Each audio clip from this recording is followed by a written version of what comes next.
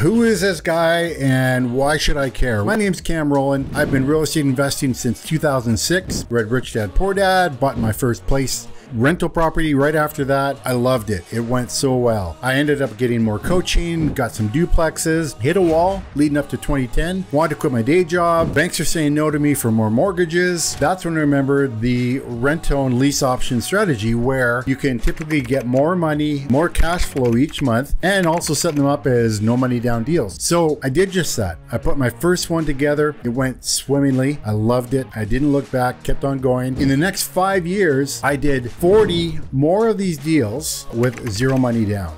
So follow me. You can learn from me, learn from my mistakes, learn from my wins. And people call me the creative investor. You can call me Cam. We'll talk to you soon.